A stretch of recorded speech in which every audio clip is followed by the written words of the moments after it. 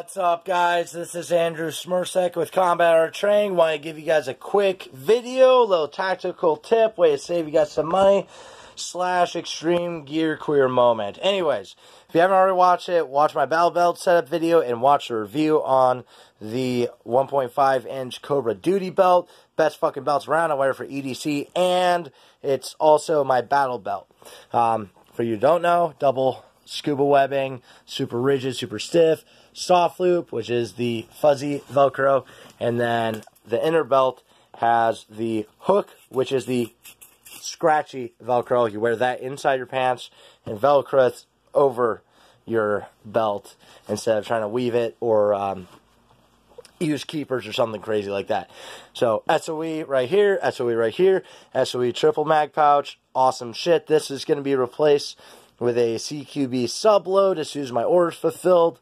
And then um, inside here, I have an SOE pull-out med tray like that, which is an easy solution to um, put a trauma kit on your person. So I've got that on my belt. And it, you can also, of course, it's a magazine pouch, just stuff it inside a uh, chest rig or on your kit uh, if you have um, an extra magazine pouch to stuff that inside there. They also make tear off med tray, a small one, and a full size one. That's even better. But this is what I got on here.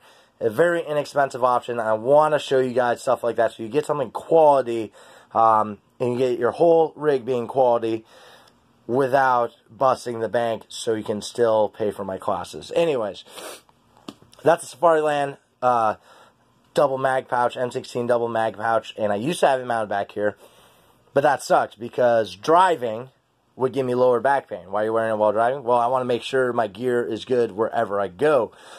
So, um, I would wear it to and from the range, and because it puts you a, couple inches uh, off the seat, you start to get lower back pain. And, and, then also if you sit inside a folding chair, when you stand up, the folding chair comes with you, uh, which is very embarrassing. Anyways, so how do I do this? Very simple. Took a razor and I slowly cut away the threads underneath these straps right here. Then I took the straps that would weave with the MOLLE and uh, inside these straps going the other way and I just put them underneath, if you can see right here, and I buttoned it in, and then I slid zip ties through, and I slid it over this side of the belt with the med tray in there. Wasn't a big deal.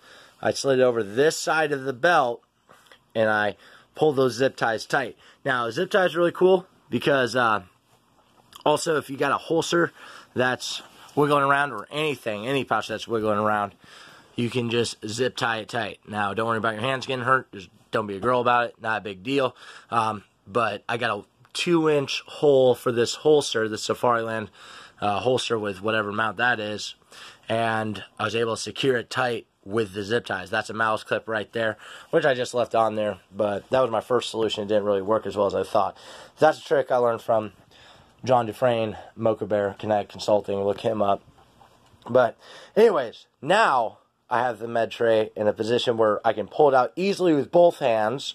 It's not going to give me lower back pain. Also, having the pistol mag pouches over here, I'm able to get at them with both hands when it connects in the middle. The only problem is when I'm in the prone, it's going to raise me up off the ground a little bit, but that will keep my dick from getting bit by fire ants, and I really like that.